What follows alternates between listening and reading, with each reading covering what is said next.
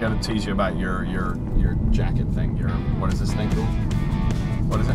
You, know what it is. It's, like, it's, a, it's a high vis vest, and it's it's it actually Of course. is indicative of our number one core value, of safety. Oh, So this, I'm very proud of this vest. but you're not at the transfer station now.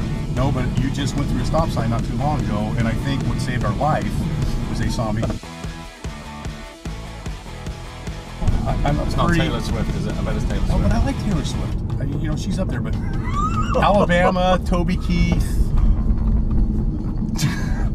All right. I, I just don't see you as a Taylor Swift guy. I'm sorry. No, what else? I, mean, I got daughters. I got three daughters. Oh, that's true. So you're forced to